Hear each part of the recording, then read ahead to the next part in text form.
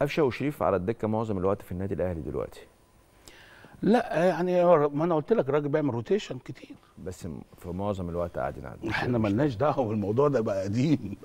انت بتفتح الجروح اصل أنا أنا بس بفكر السادة المشاهدين. لا هو مش لما كيروش استبعد قفشة وشريف عادي آه، عادي. حصلت انتقادات وهجوم كبير جدا على الجهاز الفني لمنتخب مصر هو الجهاز الفني إيه؟ عليا أنا وشوقي وعليك بس. انت تحديدا انت ومحمد شوقي صح؟ آه. أنتوا إزاي وانتوا إزاي ما تقولوش للراجل والراجل ما يعرفهمش و كانوا أفضل لاعبين يعني خد بالك إنه قفشة وشريف وقتها كمان كانوا on fire يعني هم من أفضل الناس اللي موجودة في مصر. برغم كده استبعدهم كيروش. طيب فرصة دلوقتي وكأنها نصيحة. إيه اللي ينقص شريف أو قفشه وهم مميزين هنتفق كلنا إن هم مميزين ان هم يبقوا لعيبة أساسيين طول الوقت. شريف ناقصه يهدى وهو هداف بس هو بيمر بحالة حاسس إن هو في اختبار طول الوقت. ودي طالما أنا كمدير فني بلعبك اللوم عليك.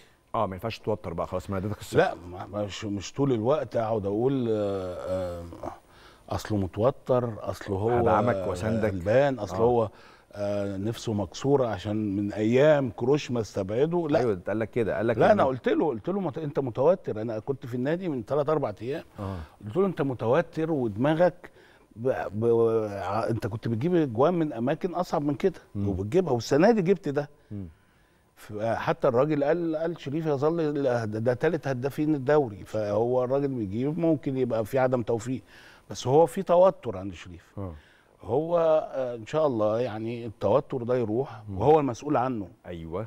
ما فيش. أي ما فيش أي حد السبب لما استبعدك فرجع آه. لك مستواك آه، ولا ما- مثلا لا، كولر بيلعب ما- كهربا؟ ف... ما بقولش حجج. آه. أنا بحبش عموما آه. آه، أدي حجج للعيب. طالما أنت الحمد لله ربنا كرمك وسليم تتمرن كويس بتاخد و- فرص. وماشي كويس وبتلعب العب. صح.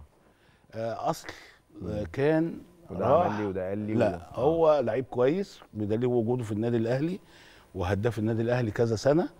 آه. لازم يهدف ولازم يصر إنه يهدف ويضيع التوتر اللي هو فيه ده هو مش في اختبار لأنه مش أول سنة في النادي الأهلي. صحيح. قفشة. نفس القصة. آه.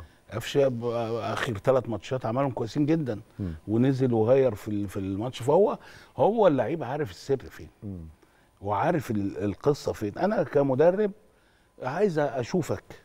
هشوفك بتعمل أقصى حاجة وأحسن حاجة هتلاقيك موجود على طول.